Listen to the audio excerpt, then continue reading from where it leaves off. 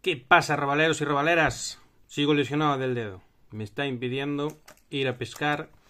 Pero, y ya que llega el tiempo de paseantes, muy pronto, ya que estamos en marzo, en breves ya los estamos pudiendo usar. Y hay gente que me está preguntando ya por el tema de paseantes y demás. Justo me acaba de llegar este de AliExpress. Hace muy pocos días. Y vamos a abrirlo. Es de la marca House, a ver lo que pone por fuera. Aquí pone 95 milímetros, 18 gramos, color 009. Que bueno, es plateado, lo vamos a ver ahora al abrir. Y por aquí no entiendo nada.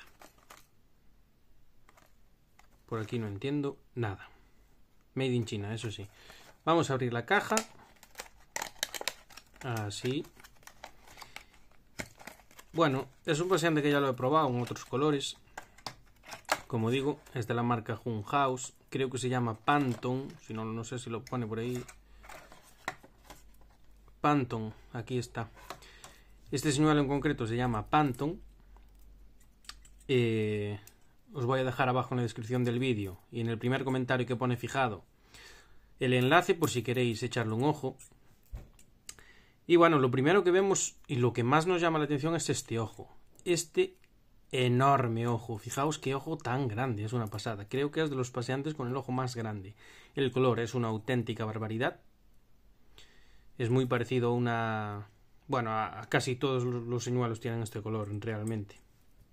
Que es plata transparente por abajo, rosita por el medio, azulito y color marrón, algo así.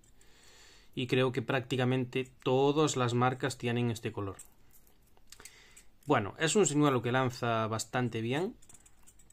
No lanza mal, lanza bastante bien. Tiene un, un, un plomo justo aquí atrás. Es el único plomo que tiene. Aquí, no sé si lo veis, creo que sí. Aquí, esto más, más, más negrito es un plomo. Ocupa toda esta parte. Y hace que tenga un muy buen lance. El movimiento no es de los que más me gusta. Es un poquito lento para mi gusto el movimiento de este señuelo. Pero he de decir, ya os digo, lo tengo en otros colores. Eh, este justo es nuevo, nunca lo tuve este color, lo tengo en blanco y blanco con la cabeza amarilla creo que es y si no me equivoco rojo o algo así. Hace tiempo, bueno, hace un año que no lo uso. Y bueno, pues eh, lo dicho, aguanta bastante el mar, aguanta bastante mar cuando hay sí, un poquito de viento y demás lo aguanta bastante bien. Estas anillas eh, siempre se las saco, tengo un vídeo por ahí explicando el motivo. Y los triples, bueno, no son de los mejores, no son de los mejores, pero tampoco son de los peores. Eh, aguantan bastante sin oxidarse y son bastante buenos. Quizás un poquín, un pelín grandes para mi gusto, pero bueno, mmm, tampoco nada malo.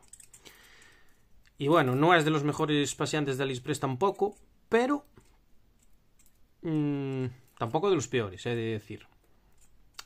Tampoco de los peores. He encontrado uno que es una copia o no, y digo no porque quizás sea exactamente el mismo que el original de una marca que todos seguro que conocéis, que lo haremos en otro vídeo. Bueno, pues aquí con mi Hun House Panton y mi dedo fastidiado con una cura casera, nos vemos.